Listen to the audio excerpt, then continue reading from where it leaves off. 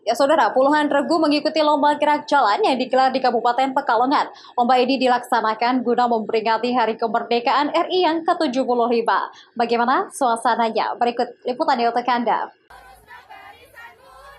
Lomba gerak jalan sendiri diselenggarakan oleh para pemuda yang tergabung dalam Modah Karang Taruna Desa Sawangan, Paninggaran, Kabupaten Pekalongan. Meskipun masih di masa pandemi COVID-19, namun antusias warga dalam memperingati HUT RI yang ke-75 sangat besar.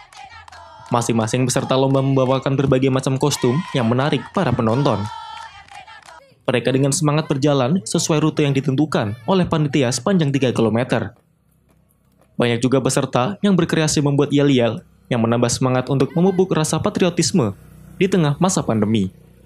Menurut Rizky Nurmaskan, selaku ketua panitia, mengatakan lomba gerak jalan ini dalam rangka memeriahkan HUT RI yang ke-75 diikuti oleh 15 peserta dari berbagai RT dan RW di Desa Sawangan, Kecamatan Paninggaran dengan sejumlah kategori penilaian. Dari kekompakan, kostum, dan waktu dari titik mulai sampai garis akhir finish. Dalam hal ini dari Desa Sawangan, pemerintah Desa Sawangan dan Karang Taruna Desa Sawangan mengadakan lomba gerak jalan yang diikuti dari kesehatan kita dalam menghadapi pandemi COVID-19.